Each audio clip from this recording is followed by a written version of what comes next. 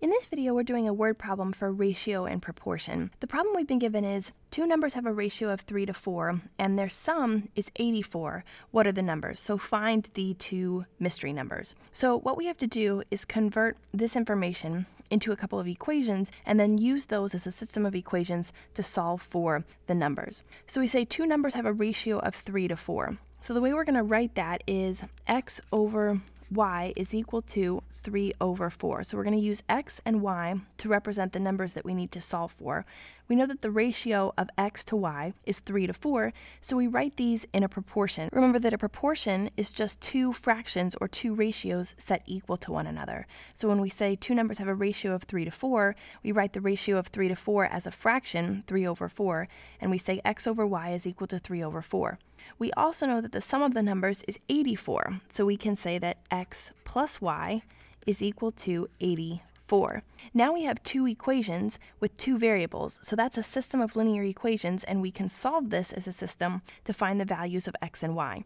So what we want to do is convert this proportion here into a more manageable equation. Remember when you're trying to solve a proportion problem, you just cross multiply. So you draw an x in the middle here, and then we do our multiplication. So x times 4 is going to give me 4x, and y times 3 is going to give me 3y. So I say 4x equals 3y instead of this fractional equation here, this proportion. Now I have two more manageable equations. I'll use substitution to solve, and the way I'm going to do that is by solving this first equation for one of my variables. So I'll solve for x by dividing both sides by 4, so I'll divide both sides by 4, and I'll get x is equal to, because I'll get 4 and 4 here to cancel from the numerator and denominator, so x is equal to 3 fourths y. Now I have a value for x that I can plug into my other equation. So since I know that x is equal to 3 fourths y, I can plug 3 fourths y in for x here and get 3 fourths y plus y is equal to 84. Now I've got a fractional equation and I want to multiply every term in the equation by 4 in order to get rid of the fraction because if I multiply 3 over 4 by 4, I'll get that 4 to cancel and I'll just be left with 3.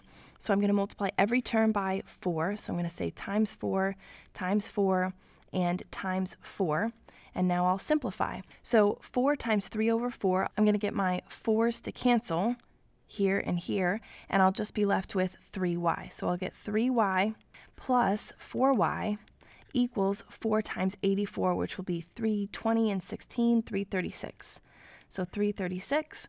Then I have 3y plus 4y. Those are like terms that I can combine. I'll get 7y equals 336.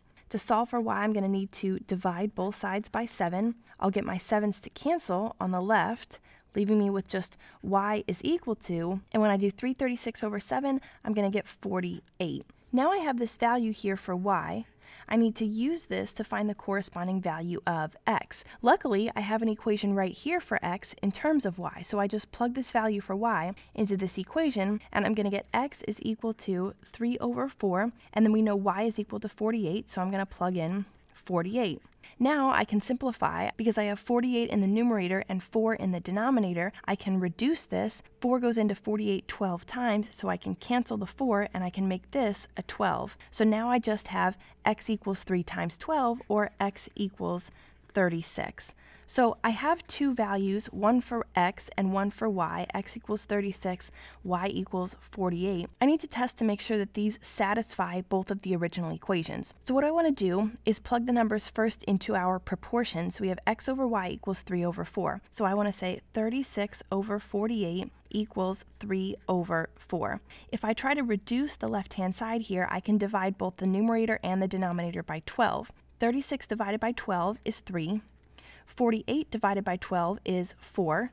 So I end up with 3 fourths equals 3 fourths. So that equation is true, and I know x equals 36, y equals 48 satisfies my proportion equation. What about my second equation, x plus y equals 84? The sum of the two numbers is 84. Well, I just say 36 plus 48 equals 84, and I can see that when I add these, I'm going to get 70 and 84, so 84 equals 84. So that equation is true as well, which means x equals 36, y equals 48 satisfies that equation plus the proportion equation. So I know I found two numbers that meet these criteria.